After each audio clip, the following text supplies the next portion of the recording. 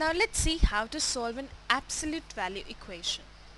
We can simply solve it by using the logic that is absolute of x is equals to 8 has two solutions. Either it can be positive 8 or minus 8. So remember to solve an absolute value equation, we simply take the expression inside the absolute value symbol either as positive or negative. So for example, we have absolute of x equals to positive x if x is greater than 0 and it is negative x if x is lesser than 0 and it is 0 for x equals to 0. Now let's see how to solve this absolute value equation. We have absolute of x minus 2 equals to 5. Now the inside expression that is x minus 2 can be either written equals to 5 or negative 5. So when x minus 2 is basically positive, this absolute gets open as x minus 2 equals to plus 5. On solving we get x equals to 7. Similarly, if we take x minus 2 as negative, then this absolute now can be written as x minus 2 equals to negative 5. So that makes x equals to negative 3. So hence two solutions are 7 and negative 3. So let's see how to check it out. If we plug in 7, we get 7 minus 2 absolute that is absolute of 5 which is simply equals to 5. If we take negative 3, we get negative 3 minus 2 absolute equals to negative 5 absolute. That means simply equals to 5. Now we remember that absolute of x is basically the distance between the x and 0. So if we have absolute of x lesser than 8, then any number between negative 8 and 8 will be the solution of this inequality. So remember that we have negative 8 and 8. So any number inside it is the solution of absolute of x less than 8. So similarly we can use the same property to solve the absolute value inequalities and equations.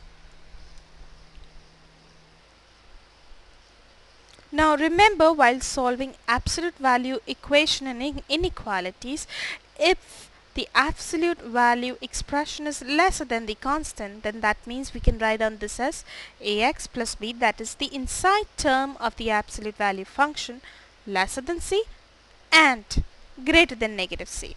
Similarly if we have lesser than equal sign over here everything is going to be the same but over here we will write down lesser than equal sign and over here we will write down greater than equal sign. If we have absolute value function equals to some constant that is c then we can open down this as ax plus b equals to c or ax plus b equals to negative c. Similarly if we have absolute value function greater than c now then that means we will write down this as ax plus b greater than c or ax plus b less than negative c. Similarly if we have greater than equal now so over here it will be now greater than equal and over here it will be less than equal. So remember if the absolute value function is greater than the constant then that means we will be using OR over here. Otherwise we will be using AND. Now look at this example. It says absolute of x minus 4 is less than 3. So that means x minus 4 is positive and x minus 4 is basically negative. So we will take absolute of x minus 4 lesser than 3 now as x minus 4 lesser than positive 3 because we have taken x minus 4 as something positive. So now on solving we get x lesser than 7.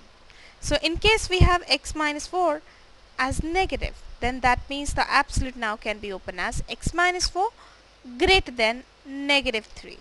So on solving this we simply get our answer as x greater than 1. Remember over here what we have done? We have reversed the inequality sign because x minus 4 was negative.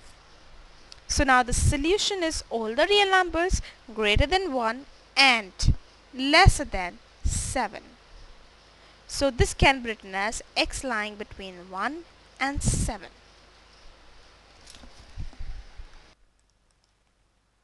We can simply solve the inequalities with the help of the options also.